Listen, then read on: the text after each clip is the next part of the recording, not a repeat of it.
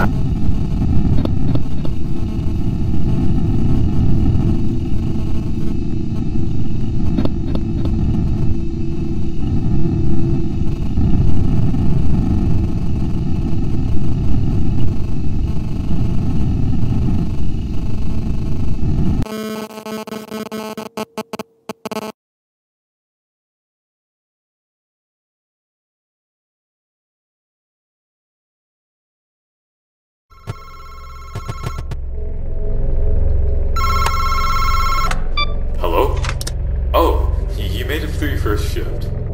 Not that I doubted you, it's just. Uh, whatever. I hope you remember everything I told you last night. I'd be checking the cameras about now if I were you. Freddy and his friends may get more irritable as the week goes on, so you really should keep an eye on them. Oh, that reminds me. There's a built-in whistle function in your tablet uh, for one of the animatronics in the building. His name is Doug. Doug the dog. His newer technology makes the mask trick ineffective for whatever reason, so if he ever leaves his spot on the stage in Party Room 1, find where he is on the cameras and use the whistle. It'll draw him back to his stage in a heartbeat. He'll probably be lurking in one of the two halls. You may also have noticed Sugar the cat. She likes to crawl through the vent system, so make sure you keep a good eye on her. Sugar's programming is odd. She can either fooled by the mask or rebooted if a bright light happens to shine on her face. So you may have to switch gears at times when it comes to her. Hope this doesn't give you too much trouble. It's Too much trouble. Especially that puppet thing. I've never been too fond of it. It's very eerie looking compared to the others. Just stares when it's on during the day. Keep it in its box at all times, okay? Oh, yeah. One last thing. If you're tired of that generator acting up and going out, you might want to check on it after your shift tonight. I'll call you then.